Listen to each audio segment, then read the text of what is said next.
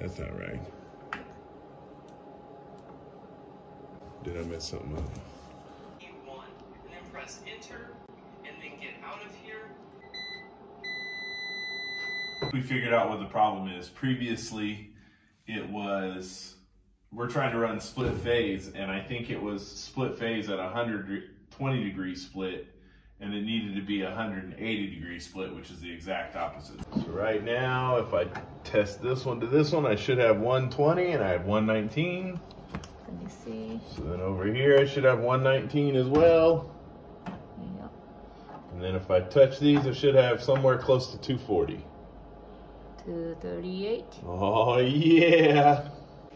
So now we gotta fill this in with breakers and start running outlets.